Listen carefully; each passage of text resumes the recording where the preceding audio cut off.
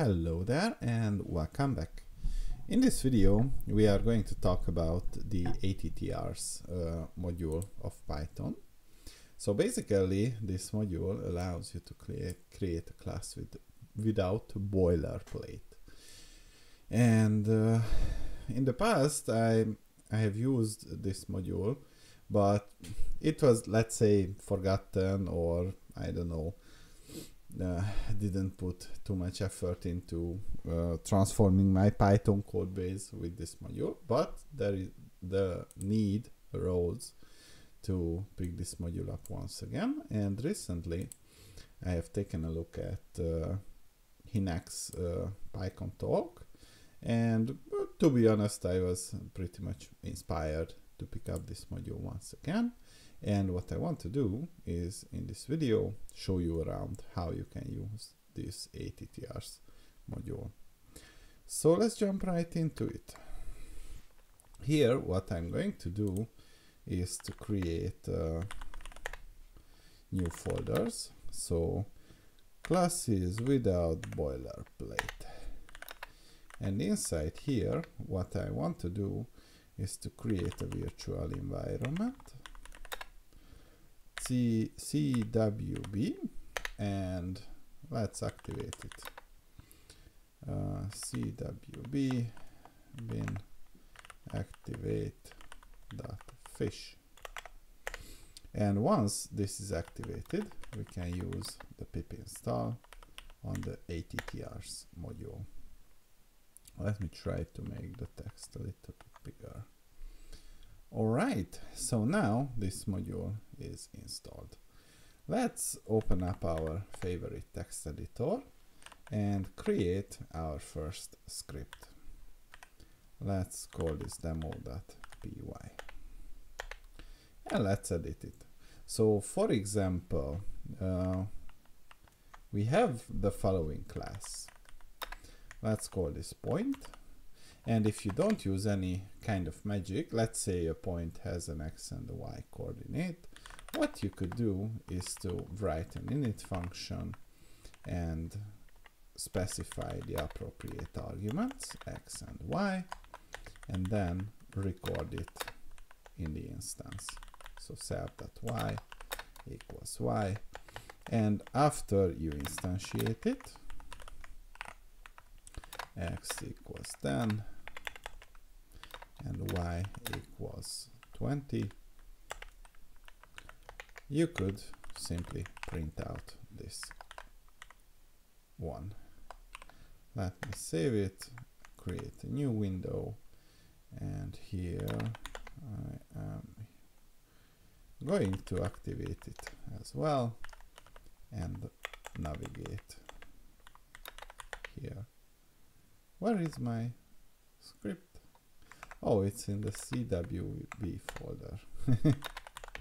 okay, so let's run it. demo.py. Alright, so if you take a look at this message, this is not really talkative because if we want to make it more, let's say, uh, fine grade, we can define or override the str function simply return technically an f string and we could use the what should we use? Hmm? curly braces and say that point. Uh, I'm trying to make it bigger. Point has the self x has the self y coordinates. And if we run it once again, you can see we have changed the way the str function represents or interprets our function or our class rather. And uh, as far as my knowledge goes, we also have the data classes module from which we can import the data class. And let's create our other class. We call this the point. And we say that the x coordinate is an integer and y coordinate is an integer. And we have to use the data class decorator. And after that if we create a variable name with point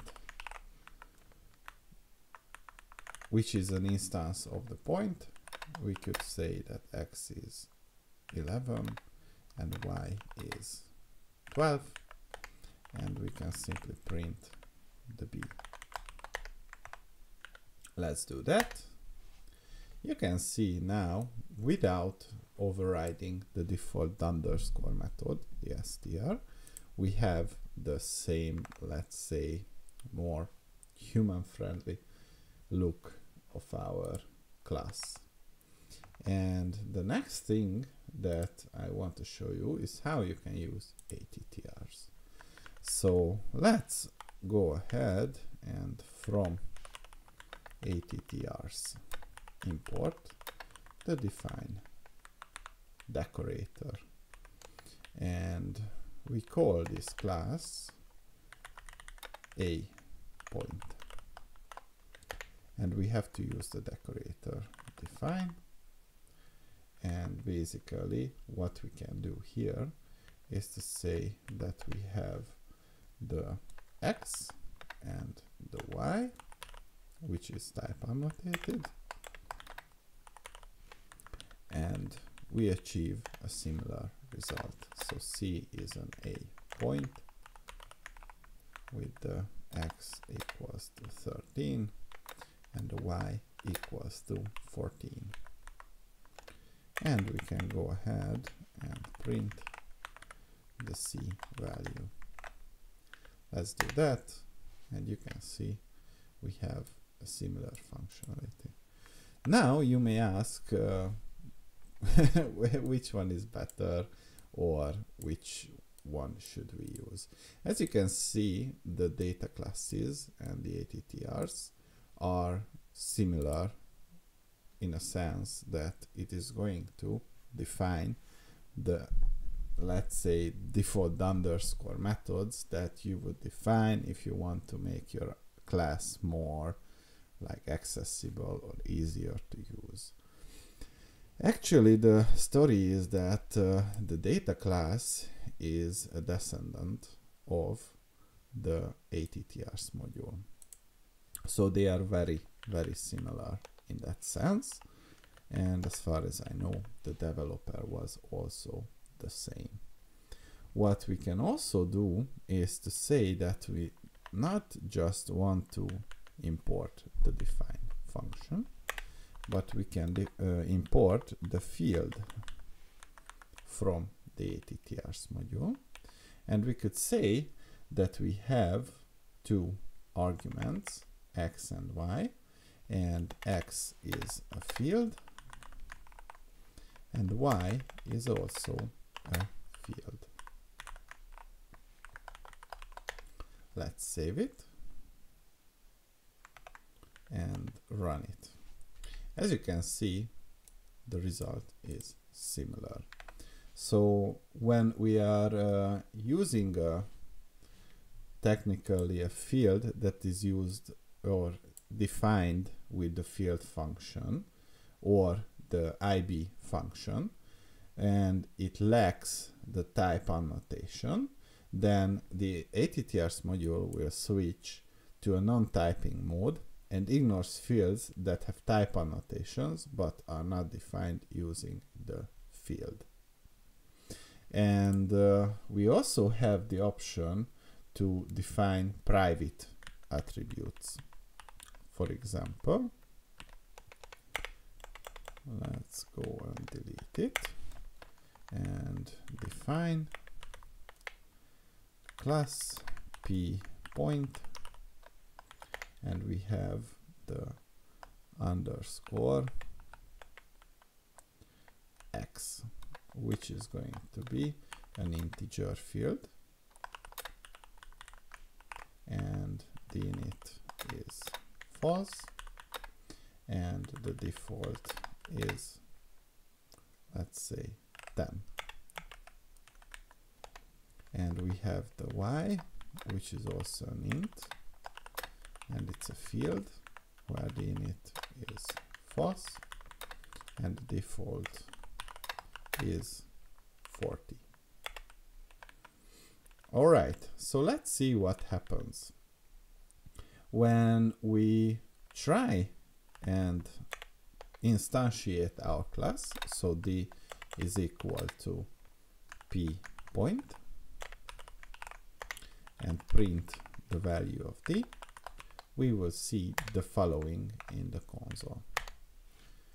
It works as uh, basically we would expect it, but since we have defined the init as false, the moment we try to instantiate this class with a value, so let's say underscore x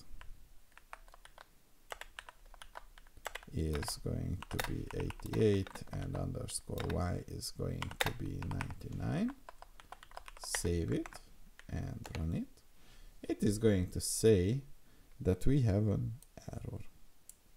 It says that we have got an unexpected keyword argument. Even if we say that we provide the x and the y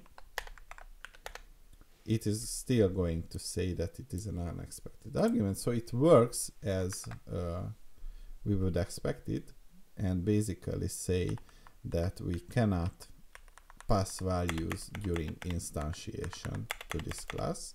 It can only use the default values which were mentioned. And basically this is revealed by the type error stating that it takes only one positional argument, but three were given. So that's one way to do it. And uh, we can also say that we have, uh, let's say this is a three-dimensional point, and we have a z variable, which is going to be an integer, and it's going to be a field where we want to say that we alias this. And how should we do it? Let's call this z. So now when I pass an argument to my p point class I can say see that it was initialized because we allowed it, or at least we didn't forbid the initialization. And we referenced this private attribute as the Z attribute. So kind of that's uh, it. And we can also mark different attributes which are, let's say, key uh, keyword only arguments. What else do we have here? Yeah. And what we can also do, which is pretty interesting, is to convert between different, uh, convert our classes between different connection types. So if we go to the import one, and import the as dict. And as tuple. Then we get two functions that allow us to transform our classes. So for example if I say as dict p uh, d variable and as tuple the c variable. Let's save it. And I don't need these double ones. Well, actually, here this one was needed. So when we execute this demo, you can see that in the first case, our attributes were converted into a dictionary. And in the second case, with the as tuple, our attributes were converted to a tuple. And basically, there are many more uh, examples that you could use to utilize this module. It also has, I don't know, validators, conversions, types, and so on. I, I didn't want to go through the whole documentation. I just wanted you to get like a sense of how you can use it. So that was all. See you in the next one